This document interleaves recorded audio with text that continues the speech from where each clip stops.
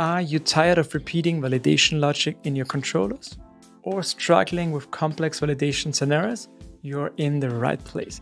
Welcome to Laravel Champs, where we explore powerful features that streamline your development process, starting with form requests today.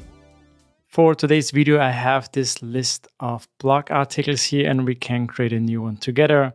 Let's call it Laravel and Vue, maybe select the status. Let's make it published. It will be about Laravel on the front end. And here we go. It was created and everything is looking good. So when we take now a look at our post store controller, so this is where we're going to store the post. What we're doing here is first we are using a gate to make sure if the user can actually or is allowed to create a post. If not, we're going to return a 403 response. Then we're making some validation here for the title, the status, the tags.